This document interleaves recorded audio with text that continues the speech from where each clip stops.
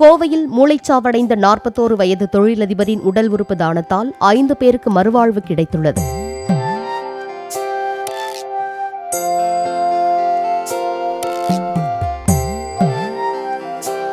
கோவை ஆர்எஸ்புரத்தைச் சேர்ந்த விஜே ஜிஜான் என்ற தொழிலதிபர் கடந்த பத்தொன்பதாம் தேதி நடைபெற்ற சாலை விபத்தில் படுகாயமடைந்து மருத்துவமனையில் அனுமதிக்கப்பட்டார். அங்கு மருத்துவர்கள் தீவிர சிகிச்சை அளித்து வந்த நிலையில் நேற்று அவர் மூளைச்சாவடைந்ததாக மருத்துவர்கள் தெரிவித்தனர்.